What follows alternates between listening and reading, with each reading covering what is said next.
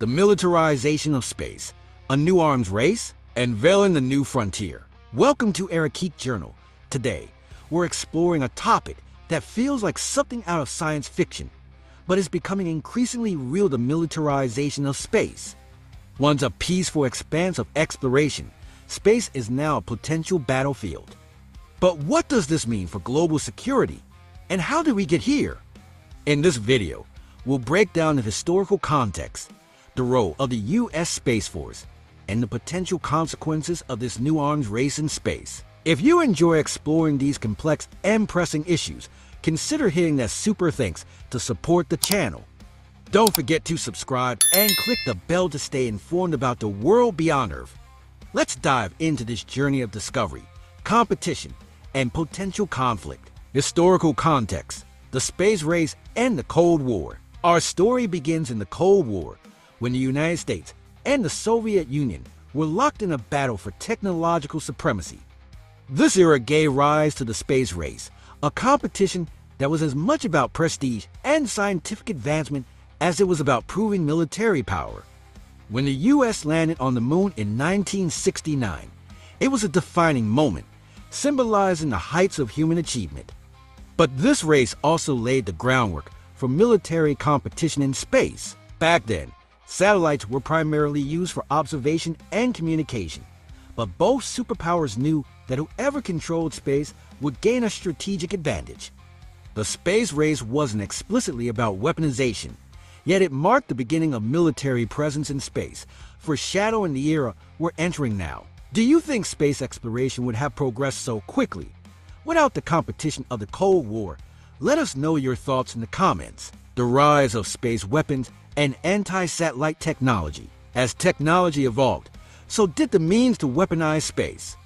Both the United States and the Soviet Union experimented with anti-satellite ASAT weapons missiles designed to destroy or disable enemy satellites. In 1985, the U.S. Air Force destroyed one of its own satellites in a demonstration, proving that it could neutralize orbital assets if needed. The Soviet Union followed with similar demonstrations. Today, multiple nations, including China and India, have demonstrated ASAT capabilities. The development of these weapons has raised significant concerns.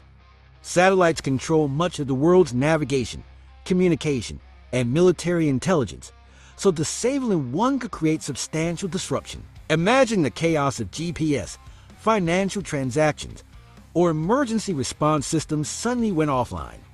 This is why the weaponization of space has many people worried it isn't just about controlling space. It's about the power to destabilize life on Earth. The Space Force has several key responsibilities. One is space domain awareness, which involves tracking thousands of objects orbiting Earth from satellites to space debris. Another is missile defense detecting and intercepting ballistic missiles aimed at the U.S. Additionally, the Space Force handles satellite communications, ensuring secure channels for military operations. Finally, they're responsible for cybersecurity, guarding space-based systems against cyber attacks.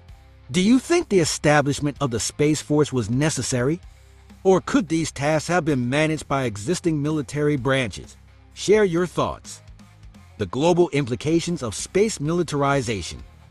The militarization of space has far-reaching implications that extend beyond the borders of any one country.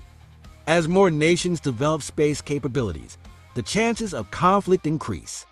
Imagine a situation where one country targets another's satellites.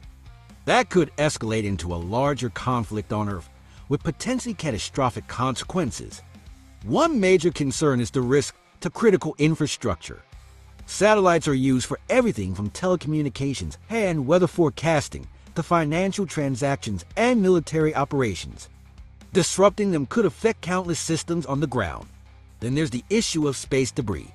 When satellites are destroyed, they create debris fields that could damage other spacecraft, setting off a chain reaction that makes certain orbits unusable.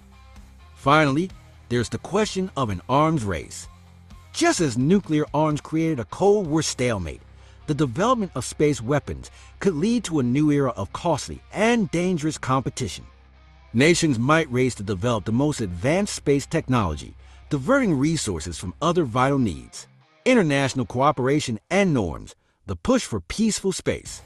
Countries like the United States, Russia, and China are exploring ways to collaborate on space policies, though achieving consensus is challenging. Some experts suggest that creating clear norms, similar to those that govern international waters, could help mitigate risks. It's a complex task, requiring diplomacy, transparency, and mutual respect among spacefaring nations. The militarization of space is a reality we must face, with significant implications for global security. As space becomes more contested, it's up to world leaders, diplomats, and organizations to decide whether space will be a domain of cooperation or conflict. What future do you envision for Space One of peaceful exploration or strategic competition? Thank you for joining us on this journey. If you found this video informative, please click Super Thanks to support the channel, like, and subscribe for more deep dives into global and space affairs. Until next time, stay curious and keep exploring.